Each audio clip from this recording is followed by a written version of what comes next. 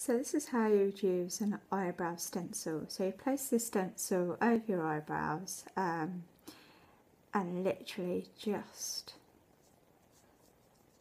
fill in.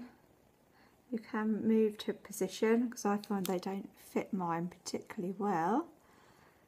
But they're a great guideline so you can just move it into position to do the rest. And there we go. So you can see, really quick and easy to use, just following your um, natural brow. The other side, you just turn it round. And again, just brush over.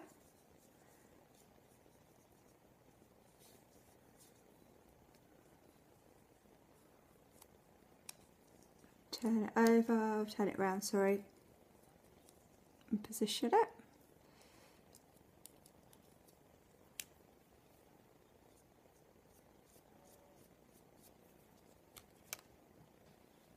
Again, so both eyebrows done with the scent stencils. You can then um, add more length if you want to and just tailor it to what you're used to but as you can see it's uh, very quick and easy to use. Thank you for watching. Bye.